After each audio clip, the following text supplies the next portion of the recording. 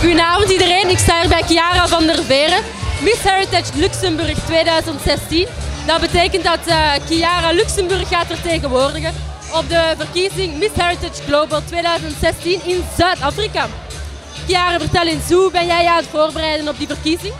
Uh, ik ben vooral heel veel aan het sporten, uh, heel veel over de cultuur en over het erfgoed van Luxemburg aan het opzoeken.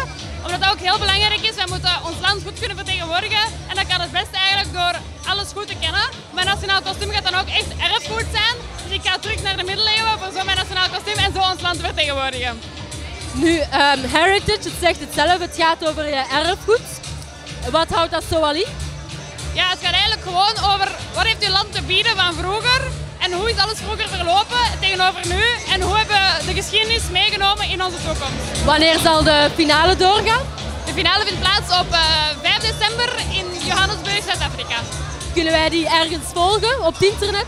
Uh, je kan sowieso mijn uh, Facebookpagina liken, Miss Heritage Global Luxemburg. En daar kan je mijn hele avontuur volgen. En normaal gaat er ook een link geplaatst worden als je het live kan volgen tijdens de finale. U hoort het, dames en heren. Wij wensen Chiara heel veel succes op Miss Heritage Global in uh, eind december, begin december. Heel veel succes, dankjewel.